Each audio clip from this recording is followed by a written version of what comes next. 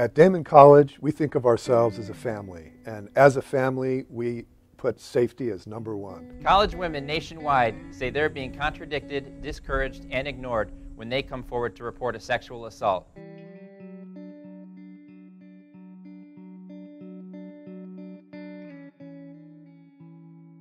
No one should fear the threat of sexual assault as they pursue their education. Never before has the subject of sexual assault on college campuses been so much a part of the national dialogue.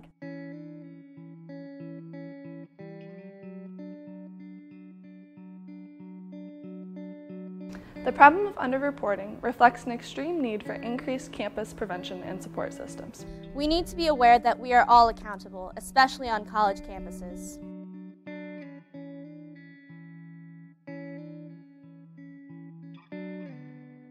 Take responsibility for your actions. Care enough about yourself and others not to break the trust.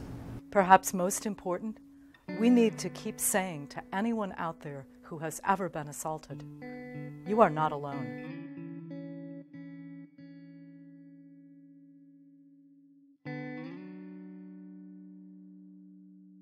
Our lives begin to end the day we become silent about things that matter. Doing nothing is not an option.